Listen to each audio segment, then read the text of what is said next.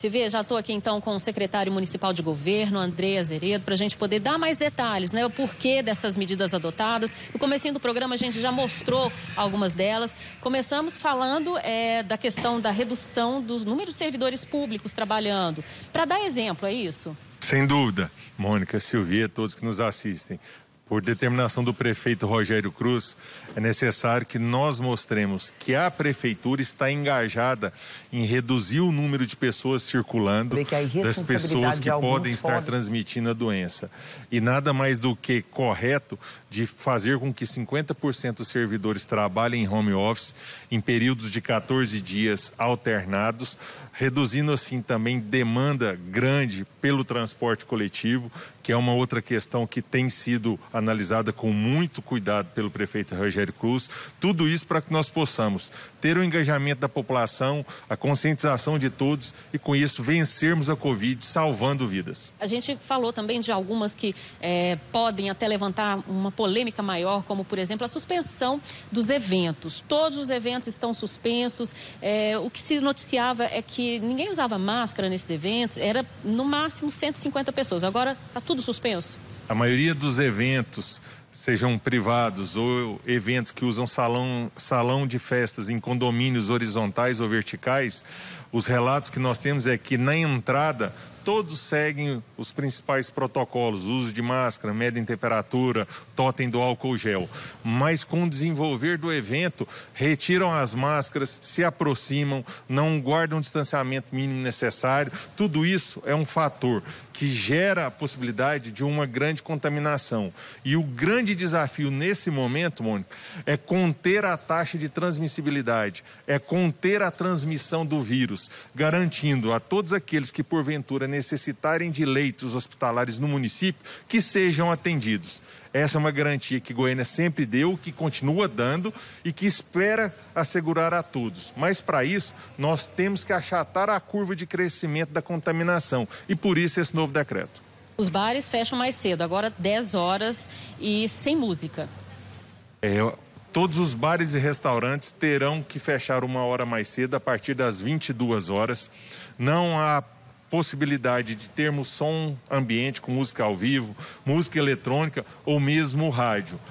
Por quê? Porque nós sabemos, em especial pelas últimas ações desenvolvidas na fiscalização da prefeitura no final de semana passado, ontem e anteontem, que muitos desses estabelecimentos migraram de horário, começaram a fazer grandes festas, grandes eventos ao longo do dia, tendo como um fator de atração shows ao vivo ou de música eletrônica. Então, já que a população parte dela não observou, não guardou o isolamento e distanciamento, nós temos que promover ações mais enérgicas, buscando eh, manter o distanciamento, respeitando as normas sanitárias e, com isso, garantindo a vida e a saúde de todos. A 44, ela teve mudança de horário, vai ficar uma horinha mais cedo e terminando mais cedo também, às três da tarde, só de quarta a sábado.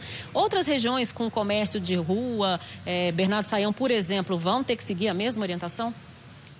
Os shoppings da região da 44, grandes centros comerciais, é, nós buscamos dar um, uma tratativa parecida com aos shoppings centers de Goiânia. E tudo isso é importante que se deixe claro, foi construído a várias mãos, Mônica.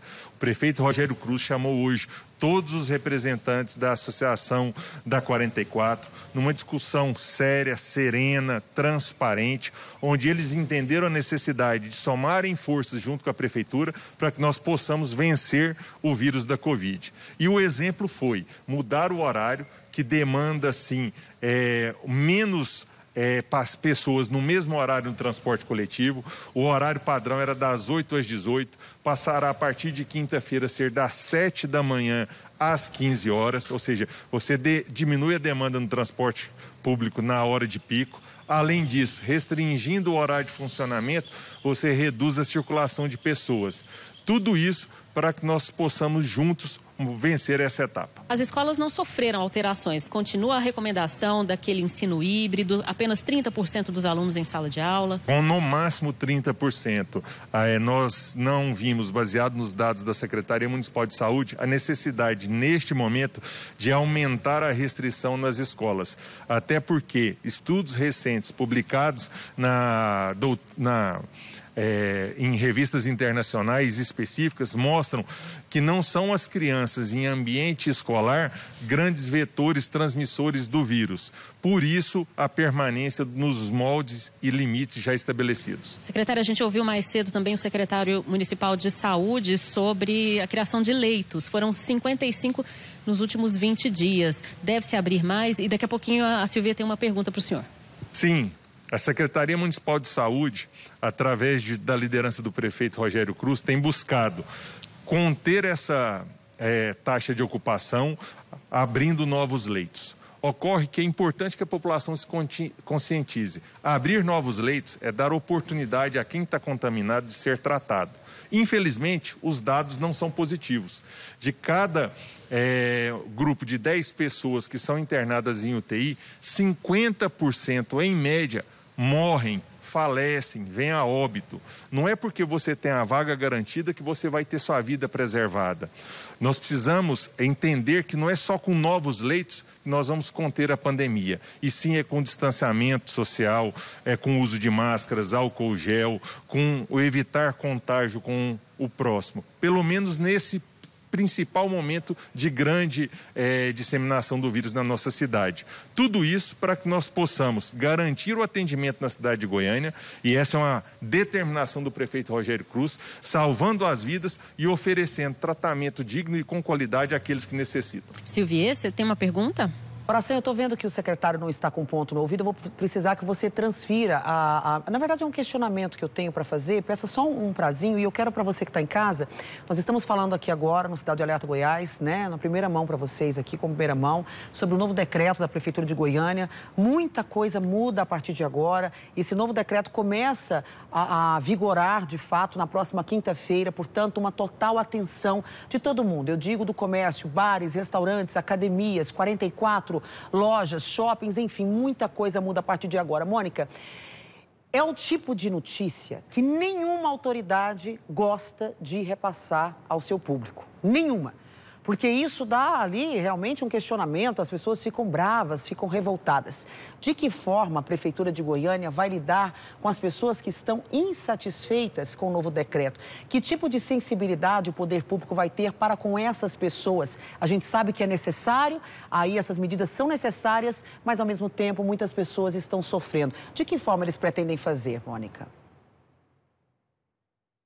Secretária, Silvia é, questiona e, e, comenta que são decisões muitas vezes impopulares. Não são decisões que a Prefeitura gostaria de estar tomando, é uma necessidade.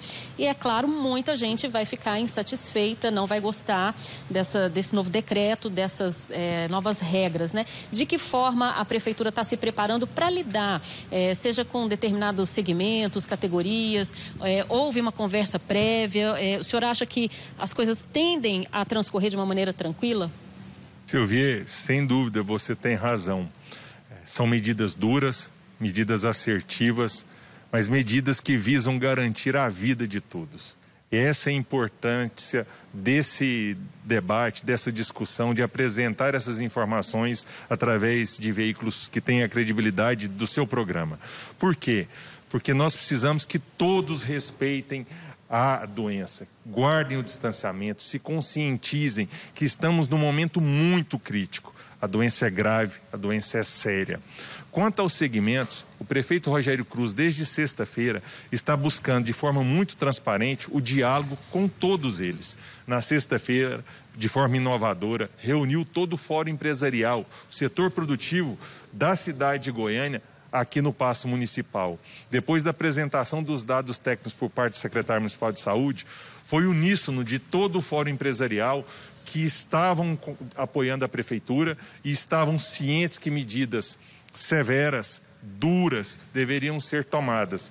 E o prefeito garantiu a eles que seriam tomadas essas medidas, mas que se buscaria também garantir a economia, dentro do possível, a saúde financeira desses estabelecimentos. Por isso, dessas medidas que foram anunciadas hoje. Na parte da tarde, já ressaltei, é importante frisar novamente, o engajamento dos empresários da 44 discutiram, debateram e compreenderam e se mostraram parceiros mais uma vez da cidade de Goiânia, do povo goianiense.